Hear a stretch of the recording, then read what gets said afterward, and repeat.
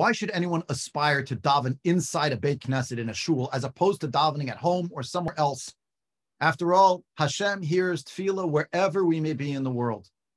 Firstly, that question is sort of like asking why it is that we think that Shabbos is a more special day than the rest of the week.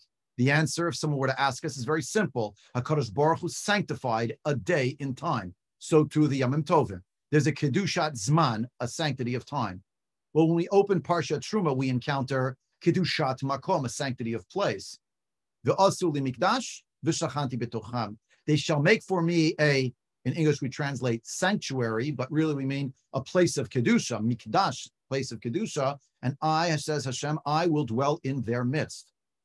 The Beit HaMikdash, which is sourced, sourced in Parshat Teruma, is actually the repository of where the divine presence dwells, more so than in the rest of the places where Jewish people live.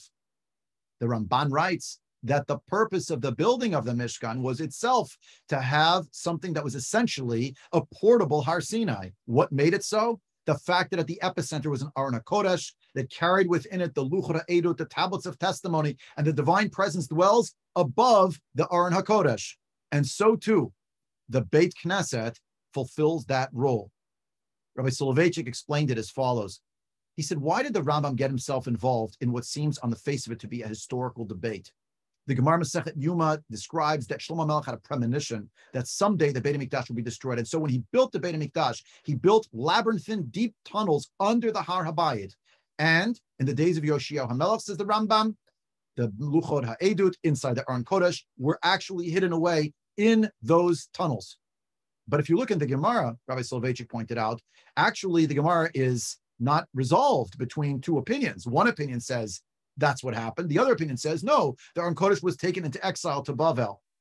Says Rabbi Soloveitchik. You know why the Rambam Paskin, he got involved in a historical discussion? It's not historical. It's halachic the Rambam maintains that the kedusha of Yerushalayim, the kedusha of the Mikdash, and the kedusha of the Shechina being Shora, the divine presence dwelling in the midst of the people, is connected intrinsically to the fact of the Aron Kodesh with the Luchot Edut within them. Therefore, the Beit Knesset is a repository of kedusha because the Jewish people, the community, has contributed, has built, and has agreed to assemble in a location which has an Aron Hakodesh, which has within it the Sifrei Torah. Therefore, it's at the front of the room, just like the Kodesh HaKodashim. And therefore, each time that we come, we're connecting again to a place that is vested with Kedusha. And there we are encountering HaKadosh Baruch Hu, where we hope and pray. The Shechina is Shora. It dwells more so than in other locations in the, in the, in the world.